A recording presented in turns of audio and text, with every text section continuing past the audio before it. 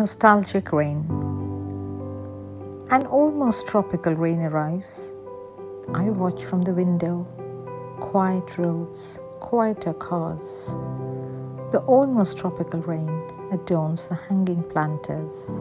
Colorful flowers, petunias, azaleas, fuchsias, but fragranceless.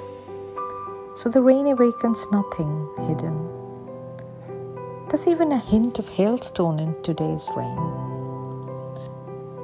But to be truly tropical, you need to emerge from the hunger of heat, the acridity of drought. You need to rise deep from ponds brimming with lotuses, from clouds that spray down at will lustily.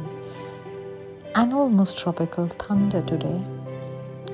But to be truly tropical, you need to have been conceived in despair, spawned in hunger, you need to have it in your belly. The rain beats down today.